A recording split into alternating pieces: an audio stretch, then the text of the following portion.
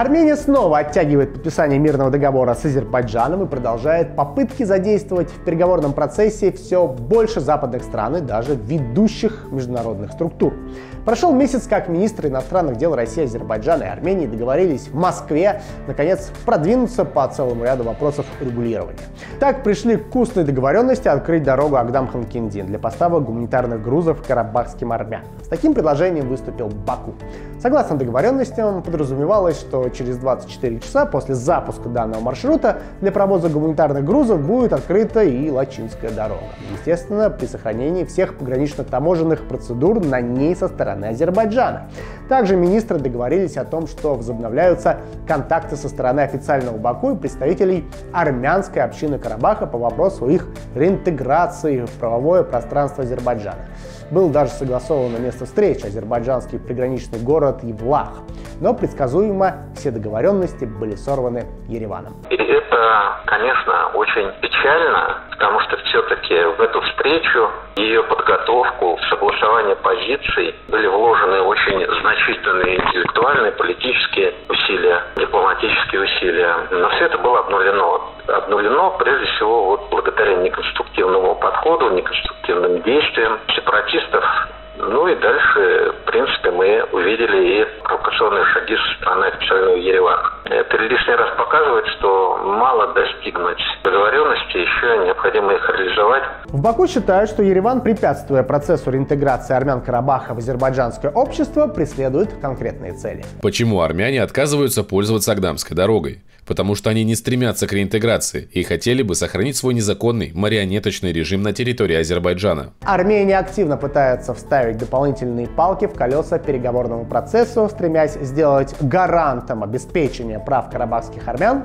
какую-нибудь ведущую международную структуру, например, ООН, на крайний случай ОБСЕ. Официальный Баку не согласен и на регулярной основе напоминает, что в соответствии с международным правом весь Карабах — это его территория.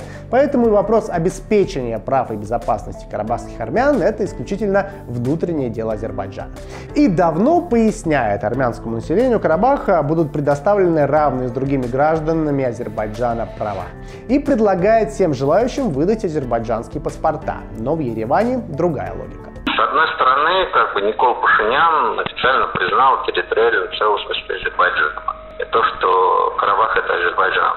Это, по крайней мере, прозвучало. А с другой, как бы, мирный договор до сих пор не заключен. Идут проволочки. Более того, осуществляются и отдельные вооруженные провокации. И при этом Пашинян, опять же, выступает за то, чтобы переговоры карабахских армян с э, Проходили при неком международном посредничестве и контроле, что противоречит юридическим нормам и принципам суверенитета Азербайджана и его территориальной целостности.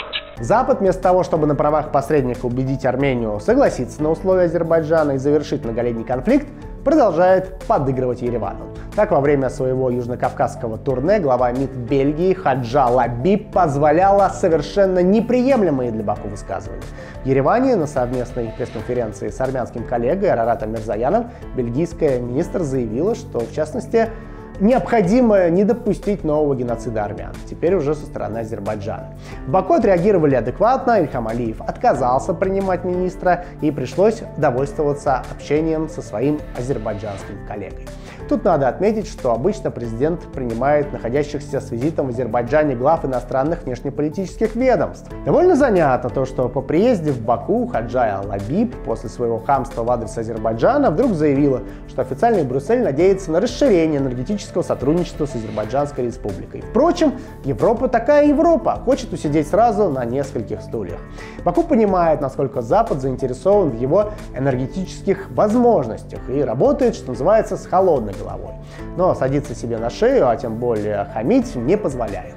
И всегда ставит на место тех, независимо от статуса кто забылся? Осенью Евросоюз рассчитывает провести очередную встречу лидеров Азербайджана и Армении на известной брюссельской площадке, функционирующей при посредничестве главы Евросовета Шарля Мишеля. Но доживет ли брюссельская площадка до этого времени после таких выпадов?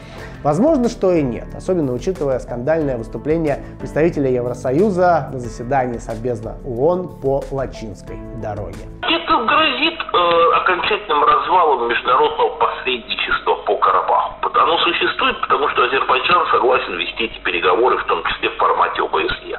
Если Азербайджан их не захочет вести, то закончится весь этот бесконечный.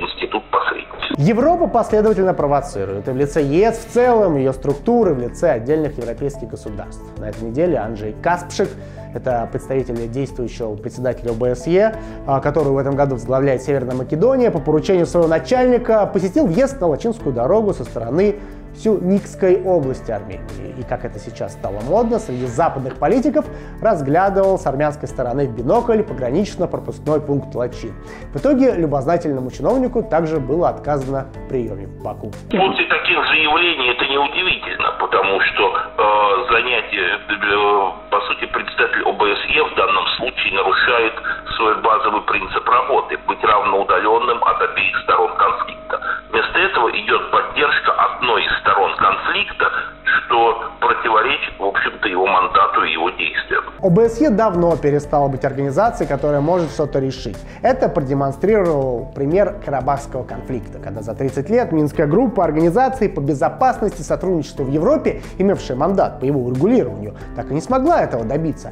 То же самое можно сказать об ООН. Еще в начале 90-х были приняты резолюции Совбезной организации с требованием к Армении вывести свои войска с оккупированных азербайджанских территорий. Но нет, никто и пальцем не шевелил, чтобы эти резолюции выполнять.